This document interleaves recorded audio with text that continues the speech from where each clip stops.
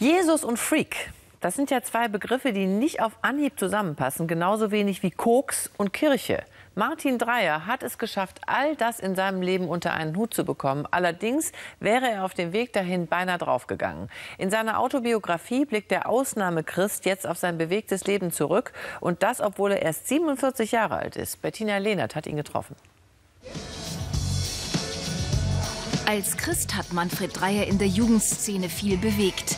Anfang der 90er Jahre gründet er auf St. Pauli die Jesus-Freaks.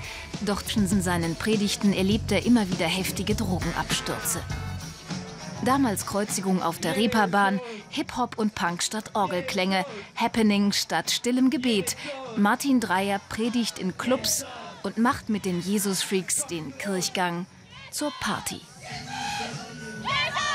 Es geht bloß um eine Person hier heute Abend und das ist Jesus. Jesus hat die Schnauze voll von einem kraftlosen Christentum und einem, einer schlaffen Kirche. Ich persönlich habe keinen Bock drauf, schlaff zu sein. Ich möchte jemand sein, der, der Power hat von Jesus. Angefangen hat alles hier in der St. Petri-Kirche. Mit 16 nimmt Martin zu viele Drogen, droht von der Schule zu fliegen. Er leidet unter Depressionen und Selbstmordgedanken. Seine Eltern nehmen ihn mit zum Gottesdienst. Dabei kommt er zur Ruhe. Ich habe sogar gesagt, wenn du das wirklich willst, wenn du aus meinem kaputten, verseuchten Leben was anstellen willst, dann äh, brauche ich ein Zeichen von dir. Und das ist dann auch passiert und dann musste ich einfach und bin dann nach dem Gottesdienst nach vorne zu einer Segnung da vorne in die Ecke und habe mein Leben in die Hände von Jesus gelegt. Und damit wurde erstmal alles anders. Martin Dreyer gründet die Jesus Freaks, eine offene Gemeinde, in der sich alle wohlfühlen sollen. Jugendliche Punks und Menschen, die nicht ins typische Gemeindeleben passen. Damit löst er eine regelrechte Jugendbewegung aus. Zeitweise gibt es bundesweit 100 Gruppen.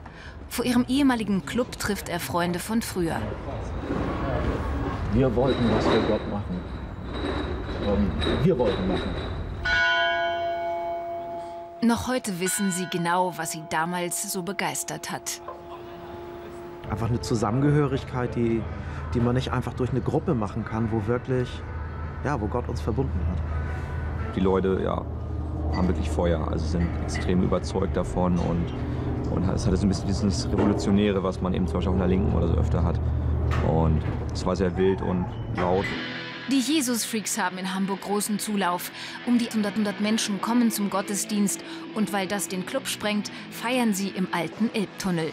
Ich bin froh, dass ich mich für Jesus entschieden habe, weil ich weiß, es gibt nichts Geileres, als mit ihm zu leben. 1994. Martin Dreyer wird Christ des Jahres. Trotzdem fühlt er sich ausgebrannt und einsam. Der Druck steigt, er greift zu harten Drogen und spritzt sich eine Überdosis Heroin, wird erst nach Tagen gefunden. Sein Arzt hat kaum noch Hoffnung. Die Diagnose war niederschmetternd. Also er meinte, äh, ich hatte einen Gedächtnisschaden danach. Ich hatte eine Unterversorgung im Gehirn, eine Sauerstoffunterversorgung. Und er meinte, das wird wohl nie wieder was werden. Und hat vermutet, ich würde ein lebenslanger Pflegefall bleiben. Aber die Reha schlägt gut an. Martin Dreyer studiert Pädagogik trotz starker Konzentrationsschwierigkeiten.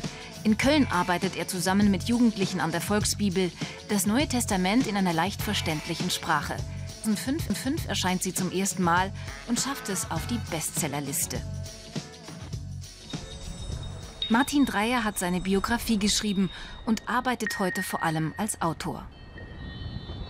Ich bin heute so glücklich wie noch nie zuvor in meinem ganzen Leben. Ich habe eine ganz süße Tochter, ich habe eine ganz tolle Ehe, ich habe einen tollen Job äh, und ich habe ähm, Jesus immer noch in meinem Herzen. Er ist angekommen und seit Martin Dreyer seine Erinnerungen aufgeschrieben hat, sind sie auch weniger schmerzhaft.